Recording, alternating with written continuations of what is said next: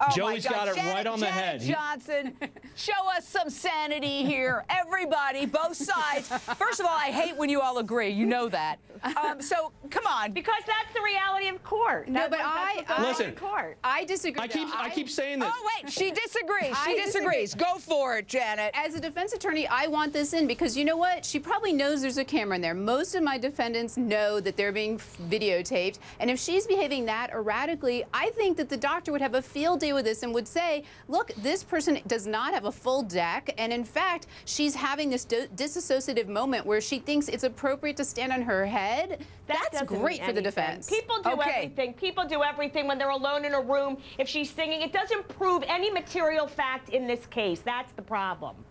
I don't know about that. I think that Janet Johnson hit the nail on the head. I think if the prosecution didn't introduce it, then the defense should introduce it. It's the same thing with the sex tape. You know, it's like Rashomon. You read into whatever you want to read into it. But let's bring in the shrink because we need one today for you guys as well as to analyze this tape. Jeff Gardere, clinical psychologist. What does this tell you about Jodi Arias' state of mind? It tells me what I've been saying on your program for the past few months that this is a young woman who is not insane by the legal definition, but is severely emotionally disturbed.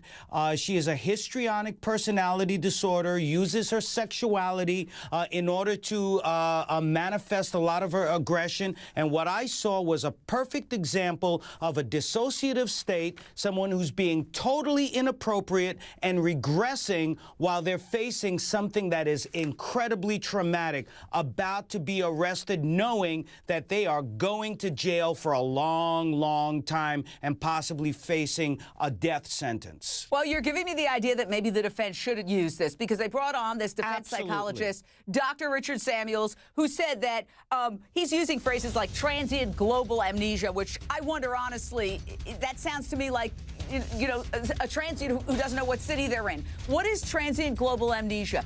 And this doctor went on to explain for the defense that Jodi uh, went into a fog state of mind while brutally killing Travis. So let's try to figure out what does he mean when he says transient global amnesia.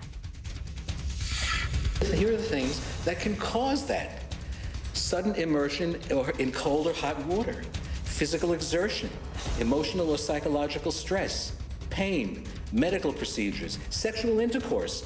So you don't have to be in a, in, in a horrible situation, but an everyday situation, and you're still prone to having this transient global amnesia.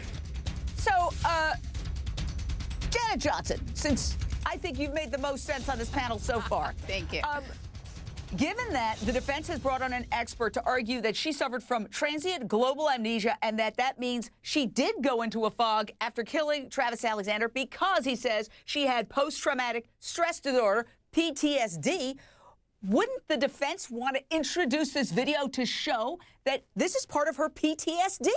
I, that's why I'm baffled by why they wouldn't want this out. You know, right now the jury, unless they're watching your show, aren't going to see it. But yeah, I mean, I think that this is somebody who's in and out of reality, in and out of, you know, she's singing a song when the police are about to arrest her and talking about makeup. That goes to I don't know what I'm dealing with. That's why I've made up all these lies. And I thought that the doctor did a great job explaining why her stories were so inconsistent. I mean, this would play right into that defense.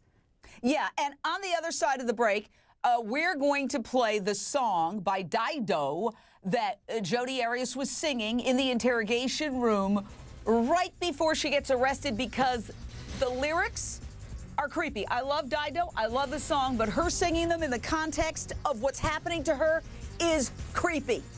Okay, we're just getting started. Tons more to debate. We're taking